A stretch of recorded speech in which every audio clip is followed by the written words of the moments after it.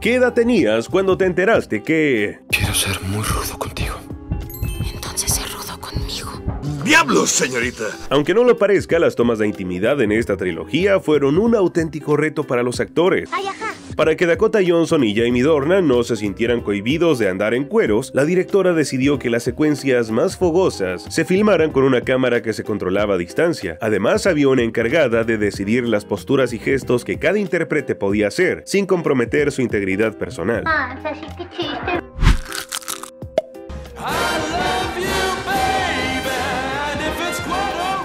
Esta escena se ha convertido en todo un clásico de las películas románticas. No obstante, originalmente la rolita que Patrick le iba a dedicar a Kat no era esa, sino I Think I Love You.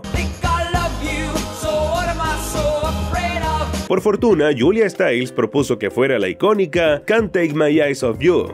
Ay, qué bonito. Mario Casas y María Valverde se hicieron novios durante 3 metros sobre el cielo. Dime algo que no sepa, tonto. A pesar de que los tortolitos ya habían colaborado en otros proyectos, fue hasta el famoso film que Cupido acabó flechándolos. Según las malas lenguas, en un inicio les daba penita realizar las escenas acarameladas. Ay, no mames. Sin embargo, una vez que comenzaron con su relación, incluso disfrutaron las tomas más calenchus. Estoy feliz. Creo que yo más. Si bien algunos se sintieron decepcionados por el final de La La Land, la secuencia en la que los protagonistas terminan juntos fue considerada para ser el único cierre de la cinta. Tan cerca estuvimos de la gloria, así de cerca. No obstante, el director Damien Chazelle y el resto de los involucrados pensaron que tal desenlace contradecía el mensaje de la película, por lo que solo lo agregaron para darle mayor peso a los sacrificios que Mia y Sebastián hicieron por sus carreras. Si a ti también te dio penita el triste caso de Tom, déjanos contarte que 500 días con ella está basada en una historia real. ¿Qué? ¿Qué? Scott Newstarder, guionista del film, confesó que al menos el 75% de la narración está inspirada en su vida. Incluso al inicio muestra una explícita dedicatoria para su Summer. Cualquier semejanza con personas vivas o es mera coincidencia. Especialmente tú, Jenny Beckman. ¿Y tú quién crees que tenía la razón?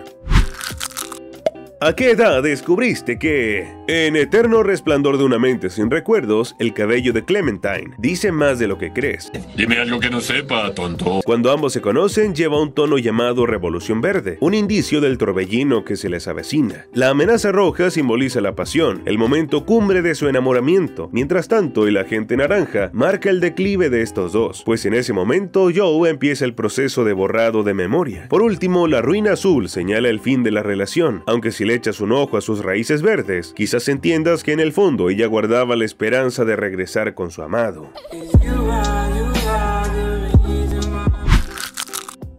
Lost in the Translation y Hair podrían estar conectadas. Eso es cine, hermano. Resulta que las mentes maestras de dichas cintas cuentan las dos caras de un matrimonio fallido, el suyo, llevando el arte de mandar indirectas a otro nivel. La mayor prueba para quienes creen en esta teoría está en las numerosas tomas casi idénticas, sin mencionar que las dos producciones cuentan con un rol muy importante, interpretado por Scarlett Johansson.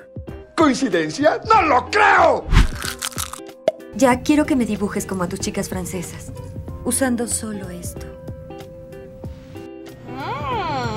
Cuando Kate Winslet se enteró que iba a tener una escena en donde saldría como Dios la trajo al mundo, quiso agarrar confianza con DiCaprio mostrándole su cuerpo al natural. About Time es una historia autobiográfica y no, no por la parte de los viajes en el tiempo, sino por el lazo que vemos entre Tim y su papá. Según se sinceró el director, la idea del guion le surgió luego del fallecimiento de su padre y el deseo frustrado de haber compartido más recuerdos con él. Nadie me dijo que esta escena era triste. ¡Nadie! Esta icónica escena es un parteaguas dentro de Si tuviera 30, pues en ella Jenna y Matt se percatan de que luego de años sin verse, aún tienen buena química. Sin embargo, por ese bailecito, Mark Ruffalo estuvo a punto de rechazar el papel, ya que se sentía incapaz de hacer semejante oso. digas eso, mi amor, por favor. Por fortuna, se aguantó la pena para regalarle a sus fans tremenda interpretación, así que en una de esas, su carita de incomodidad no fue actuada. Eterno resplandor de una mente sin recuerdos es un plagio. No digas mam. Mary Jane. A pesar de que la movie fue galardonada con un Oscar a Mejor Guión Original, varios literatos aburridos pusieron el grito en el cielo, pues alegaban que parte de la trama está plasmada en La hierba roja y El arrancacorazones, libros donde se tocan los temas de la memoria y la máquina para borrar recuerdos, sin mencionar que los nombres de Clementine y Joel aparecen en dicha obra. ¡Fuimos timados! ¡Timados! ¡Embaucados! ¿A qué edad te enteraste que... ¿Amor en el set? Julia Stiles quedó flechada de uno de sus compañeros mientras filmaba 10 cosas que odio de ti. Pero no, no creas que la actriz le echó el ojo al guapísimo Heath Ledger, sino del novio de su hermana. ¡Golosa! Según confirmó el director, la güerita tuvo un tórrido romance con el tierno Joseph Gordon-Levitt, con el que incluso compartió universidad y hasta el dormitorio de estudiantes. Romeo y Julieta casi funa Leonardo DiCaprio. Por favor, no digas eso. En un inicio, quien iba a interpretar a la joven Capuleto iba a ser Natalie Portman, jovencita que en ese entonces tenía apenas 13 añitos, igual que el personaje de la obra de Shakespeare. No obstante, el guapo protagonista ya sobrepasaba los 20, razón que hizo que los productores decidieran buscar a otra estrella un poquito más grande, esto para evitar que los críticos se escandalizaran. La malvada Sommer iba a estelarizar Cuestión de Tiempo. No puede ser. Tal como lo escuchas, al principio los realizadores se acercaron a Zoe de Chanel para ofrecerle el papel de Mary, mismo que tuvo que rechazar porque en ese momento estaba absorbida por otros proyectos. Así fue como Rachel McAdams surgió como el plan B, el cual resultó ser mejor, debido a la enorme química que sostuvo con Donald Gleason, aunque el actor confesó sentirse nervioso a la hora de besar a la bellísima Regina George.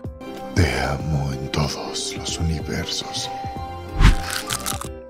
¿Sabes qué tienen en común las películas Cuestión de Tiempo, Un lugar llamado Notting Hill y El diario de Bridget Jones? No me digas, no me digas, eh, no me digas. Resulta que estas joyitas fueron escritas por Richard Curtis. Este viejo lobo de mar, además de ser especialista en sacarnos lágrimas, también es uno de los guionistas principales de Mr. Bean y fundador de varias organizaciones benéficas.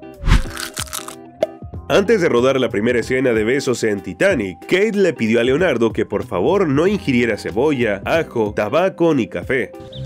Ah, No, no lo hizo por payasita. Se lo propuso para que los kikos no fueran tan desagradables. Dicha petición DiCaprio la aceptó sin problema. Sin embargo, el diablillo, a la hora de la hora, hizo todo lo contrario. Acción que le valió que la Winslet lo apodara Leo el Apestoso.